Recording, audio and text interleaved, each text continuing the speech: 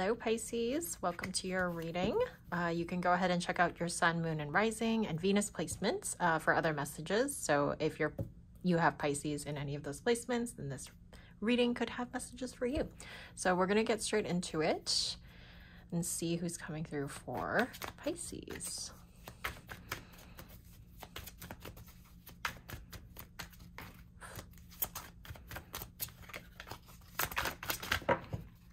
Okay, we got Page of Pentacles and the Eight of Swords. Get a few more cards out. See who we're dealing with. Okay. Okay. So we have the Queen of Swords, the Eight of Swords, and the Page of Pentacles. That's very interesting.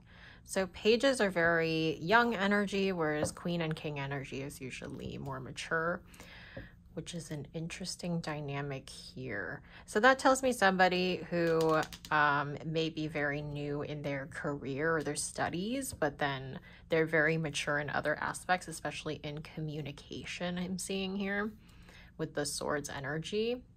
Um, we have the Eight of Swords, which would tell me that this person may be a little reluctant or has been reluctant to let you know that they're actually interested in you. So we're going to see um, what else we can find out about them. But how will Pisces know who this is? How will Pisces know who this is? Okay. Interesting. We have the Hierophant that could be Taurus um, energy.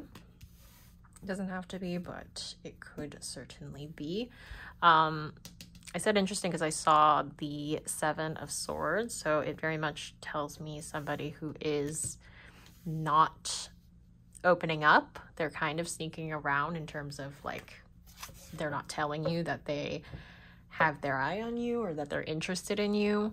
They're sneaking around just like this person holding the sword. So they haven't yet told you, and that makes sense because there seems to be a bit of a um, a nervousness or an anxiety, like they're holding back from you.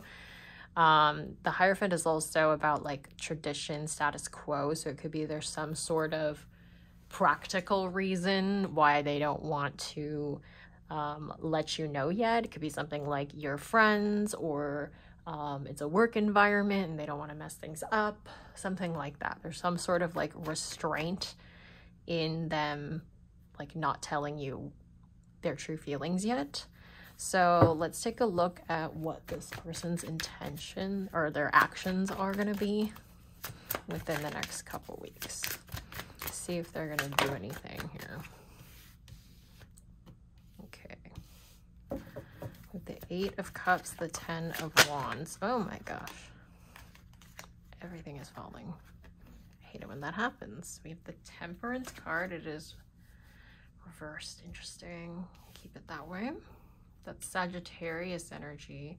So temperance would normally be like a stillness or like a patience energy. It being reversed tells me this person is more impatient. The Ten of uh, Wands is also like a big burden that like is about to burst, right? Because it's a 10. It's the end of the the numbers, the minor arcana cards so everything's coming to a culmination. So it could be like the pressure builds within them for a long time and then they're suddenly like i need to do something about this. Let's see if we can get a little more info. What's this person's action? The moon okay. But it's reversed. This is pisces energy. Your energy. Um so the moon reverse i always take it as like clarity so they gain some sort of clarity, but I do wonder what they're going to do with that. So let's see. What is this clarity that they're gaining? Oh, okay. That came out fast.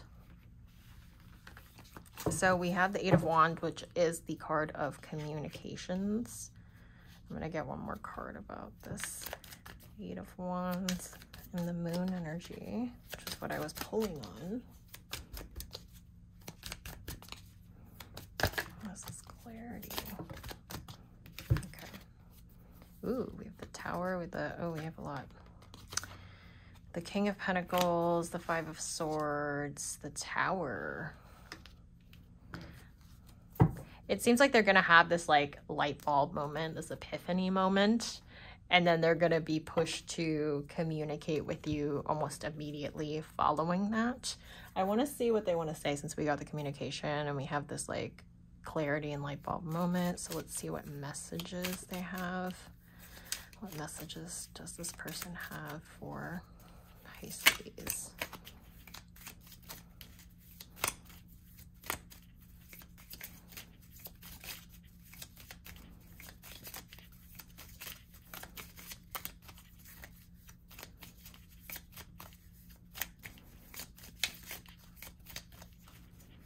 Come on. Say something. oh. I'm confused. Oh, and I pulled another one. I'm sorry, I'm confused. Oh, and we have another card that flipped over here. We have I want to start over. Okay. Those messages make sense together. Um, let's pull some oracle cards, see what else comes through for Pisces. Oh, we have daydream and we have open up. Hold on here. Number 11, and we have open up. So this person's like daydreaming about being able to be honest with you and open with you and let you know exactly how they feel and then they have this light bulb moment. Something happens you know we're getting the tower we're getting this clarity we're getting like this overwhelmed feeling like where they are definitely being pushed towards you pushed towards um telling you the truth to opening up towards you. So it's like they're dreaming about it for a long time. They're thinking about it for a long time. And then something just hits them out of nowhere where they're really pushed to move towards you. So ooh my gosh. Okay, it's time to take action. Exactly what I was saying, that something is um, pushing them towards you. Um, that is Aries, which is also very tower energy. Um, we have the end of a tough cycle approaches, which is full moon Capricorn. And then we have conclusions are within reach, full moon eclipse. Yeah, so this person is very pushed to like move towards you and tell you how they really feel. I kind of want to pull more about what they feel because it hasn't revealed a lot. What are this person's true feelings towards Pisces? Oh, oh my gosh. Oh my god, look, we got the sun. That came flying off onto the floor. This is Leo energy. So they see you as the sun in their lives, like the light in their lives. Everything about you brings positive emotions, positive feelings in them. That's their feelings towards you. It's so positive. So they may be, for some reason, I'm getting a feeling they're a little bit like,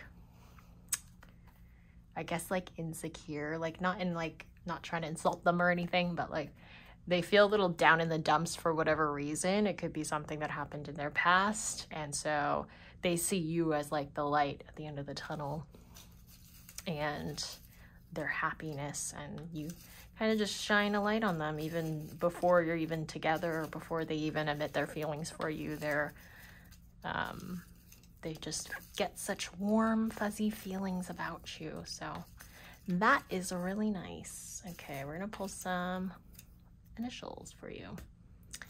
And then that will be your reading. Okay so we have D, we have Q, we have I, and we have U. IUD, that's so weird. Um, so that is your reading, Pisces. I hope you enjoyed. Uh, don't forget to check out your other placements and Moon, Rising, and Venus. All the videos are up now. You are the last video, so uh, you can check those out for other messages that may be relevant to you. Otherwise, don't forget to subscribe so you don't miss my next uploads, and I will catch you all in my next prediction. Bye.